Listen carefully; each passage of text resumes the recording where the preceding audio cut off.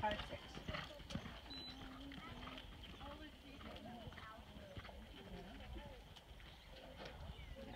She lost time right here. You going again? No.